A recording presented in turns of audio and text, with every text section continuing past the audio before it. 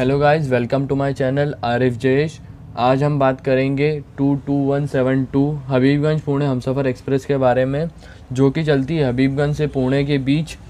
इसका पूरा total travel time जो है पंद्रह घंटे पचपन मिनट में आपको हबीबगंज से पुणे पहुंचाती है।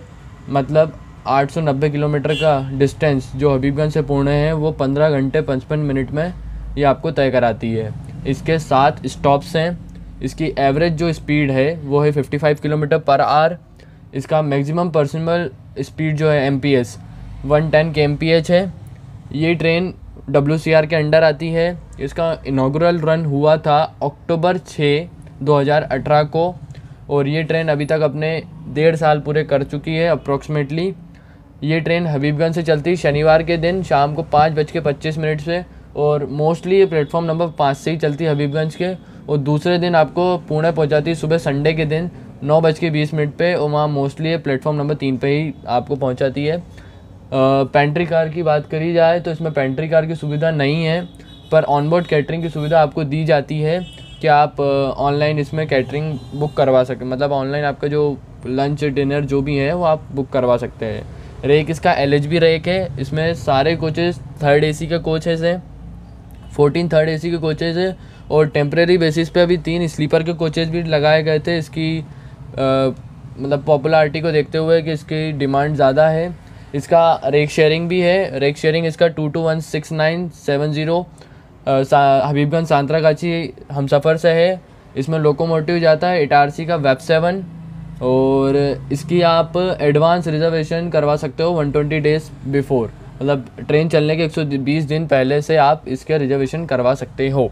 इसका रेक रिवर्सल भी होता है मतलब ट्रेन पूरी रिवर्स हो जाती है डॉन्ड पे, क्योंकि डॉन्ड पे लो को रिवर्सल होता है, जहाँ पे रेक रिवर्सल भी हो जाता है।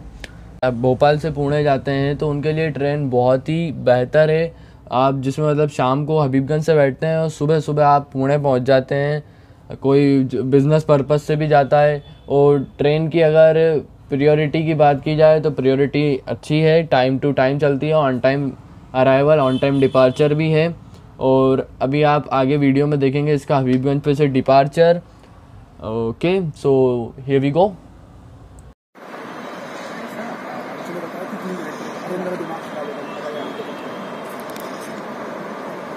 मैंने इसको बोला, इसने उसको बोला कि चेक कर क्या है।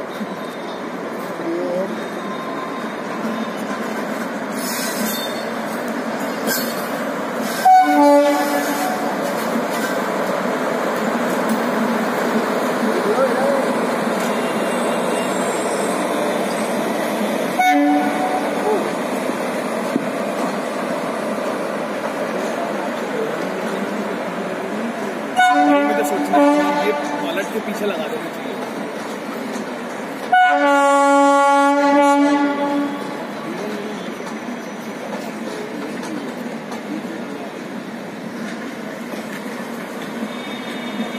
साइड लोअर पर खाली है